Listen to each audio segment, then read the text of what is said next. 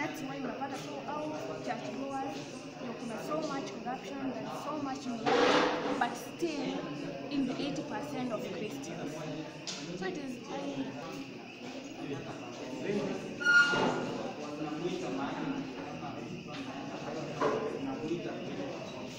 Anybody can, can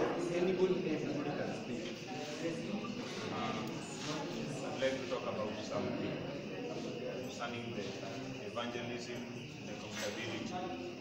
Because uh, evangelism is part of the ministry.